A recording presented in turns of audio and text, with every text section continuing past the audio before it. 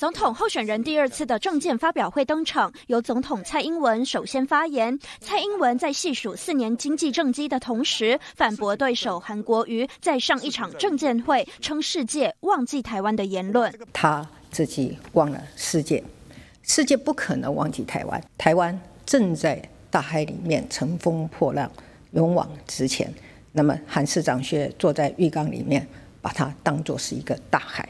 轮到国民党候选人韩国瑜发言时，他开口先说圣诞快乐，接着批评总统蔡英文前面所谈到的经济政绩。今天是圣诞节，祝大家圣诞快乐。我是韩导，四年你的执政，台湾人民台湾人民用四个字：苦忙翻乱。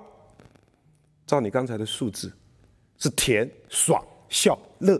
对于韩国瑜的批评，蔡英文这么回应：二零一七年的忙是因为国际情势的转变，我们也在进行很多的改革；二零一八年的翻是因为我们开始翻转了这个整个情势。好，那二零一九年的乱就是一个背弃了承诺的市长跑出来选总统。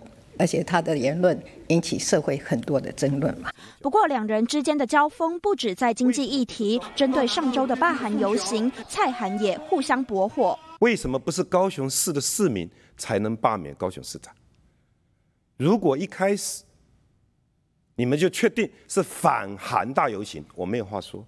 根据绿党民调，上周挺韩罢韩游行后，蔡英文民调赢韩国瑜三十三点六个百分点。蔡英文就表示，罢韩游行许多人上街头就是明星。韩市长说过，不要在乎冷冰冰的民调，要在乎热乎乎的明星。这数十万人上街头，难道不就是热乎乎的明星吗？除此，蔡英文对于重启核四的能源政策，直言是用命发电。我看过韩市长的二零三五计划，你的核能至少要占比百分之二十五。要达到这个目标，不只是要核四，还需要核五，甚至于还要有核六。如果重启核四，继续在台湾使用核电，才是用命发电。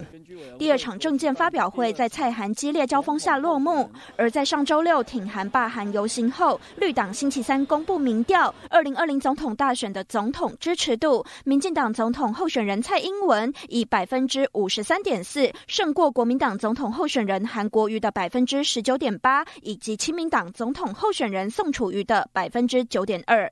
新唐人亚太电视胡宗汉、黄燕玲台湾台北报道。